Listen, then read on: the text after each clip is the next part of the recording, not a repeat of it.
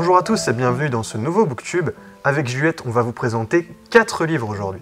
Alors, le premier c'est Mémoire de la forêt, le tome 1 intitulé Les souvenirs de Ferdinand Taupe. La série est écrite, par Michael Brun-Arnaud et est publiée dans la collection 9 de l'École des loisirs. L'histoire se déroule dans un monde anthropomorphique avec pour personnage central le libraire Archibald Renard. Ce commerce appartient à sa famille depuis plusieurs générations et rien ne semble pouvoir perturber la quiétude de ce lieu. Pourtant, un jour, Archibald va vivre le cauchemar de tout libraire, mais aussi de tout bibliothécaire. Il ne va pas pouvoir satisfaire la demande d'un de ses clients. Ce client, c'est le vieux Ferdinand Taupe qui cherche désespérément à retrouver ses mémoires, un livre qu'il a écrit il y a bien des années.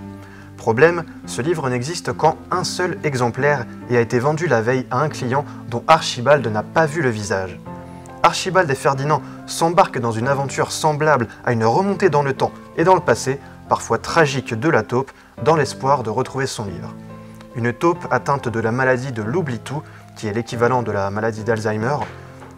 Et oui, pour retrouver ses mémoires, Ferdinand Taupe va devoir retrouver la sienne, car, comme c'est écrit dans le prologue, s'il n'y a rien de plus beau que de créer des nouveaux souvenirs, il est encore plus satisfaisant de réussir à les écrire et de les partager avec ceux qu'on aime. Les souvenirs de Ferdinand Taupe est un roman empreint d'une grande douceur et d'une poésie indéniable dans son écriture. Les illustrations magnifiques faites par Sanoé, comme celle que vous voyez ici, rendent l'ouvrage encore plus poétique qu'il ne l'était déjà. On sent également tout le passif de l'auteur qui a travaillé pendant dix ans à l'hôpital dans l'accompagnement des personnes atteintes de la maladie d'Alzheimer, un roman que je conseille à tout le monde dès 10 ans, et si ça vous plaît, les trois tomes de la série parus à ce jour sont disponibles à l'espace jeunesse de la bibliothèque. Le deuxième livre dont je vais vous parler est une bande dessinée intitulée Bergère guerrière. Elle est l'œuvre de Jonathan Garnier au scénario, Amélie Fléché au dessin, et c'est édité chez Glénat. Alors, nous sommes dans un village aux allures un petit peu viking, comme vous le voyez sur l'image, qui a pour particularité de n'être habité que par des femmes.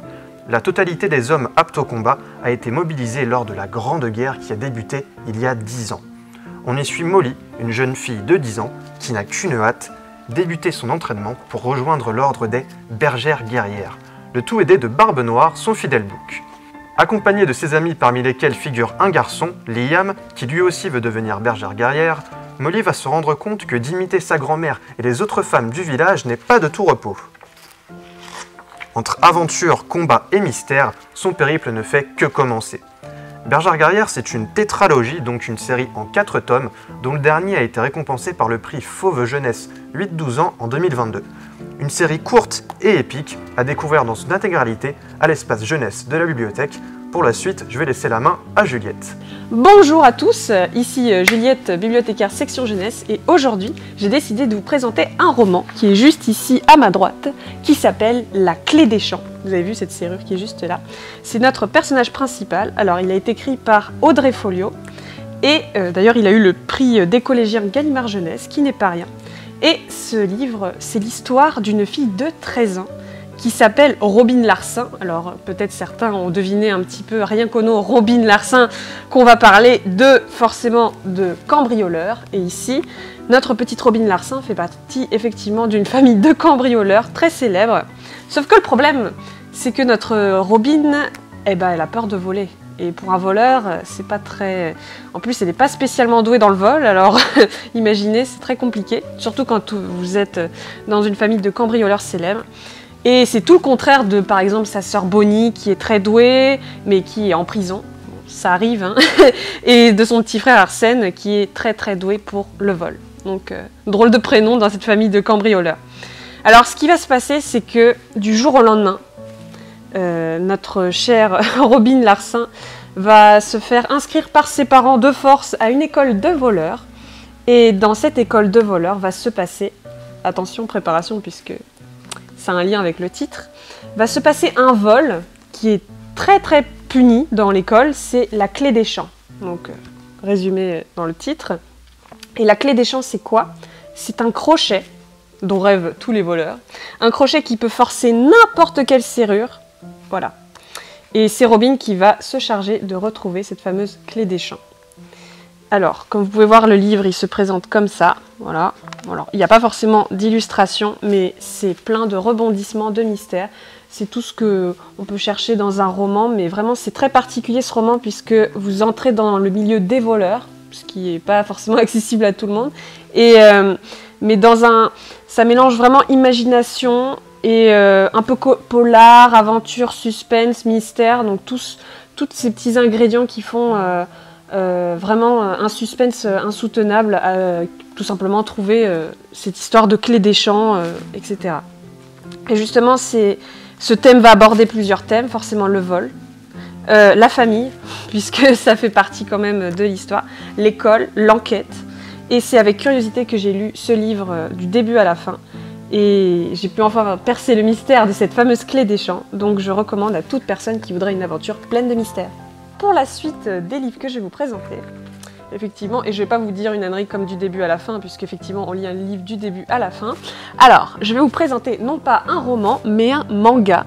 Alors euh, ici j'ai le tome 4, mais sinon vous avez toute la série à la bibliothèque. Je vous présente Ranking of Kings.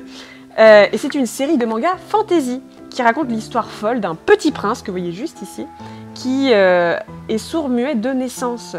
Et il faut savoir que euh, Boji, il s'appelle Boji, il est l'héritier légitime du trône.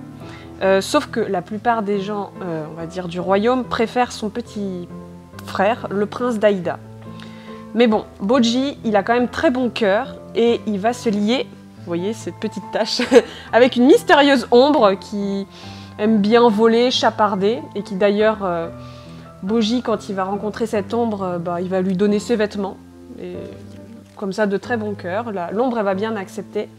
Mais elle va se lier d'amitié pour aider Boji, qu'il arrive à, comprendre. Cette ombre arrive à comprendre Boji, à l'aider à atteindre son rêve, c'est-à-dire devenir le meilleur des rois. C'est pour ça qu'on l'appelle Ranking of Kings, c'est-à-dire le classement des rois, puisqu'il y a un classement des rois euh, dans toute cette série. Alors j'ai accroché très vite à cette série, on ne s'en lasse pas. Euh, c'est pour tout âge et euh, c'est un personnage qui, comme vous voyez, va beaucoup persévérer. Malgré beaucoup d'obstacles, les personnages sont hyper intéressants. Euh, on en apprend de tous les jours, si je puis dire, dans cette série. Ça continue. Elle a même été adaptée en animé pour ceux qui le savent. Je vous montre un petit peu les images. Bon, pas tout non plus parce qu'après. Hein. Mais voyez, par exemple, là, nous avons. là, j'ai oui, la présentation des personnages. Et voilà, un peu comment ça se présente. Il y a beaucoup d'action et euh, beaucoup de suspense au niveau de la narration, donc c'est vraiment intéressant. Et les personnages sont vraiment très intéressants, surtout euh, le roi, le petit prince, et, euh, et l'ombre qui est juste là, avec ses drôles de yeux. Voilà, donc je le recommande à tout le monde. N'hésitez pas à les emprunter à la bibliothèque.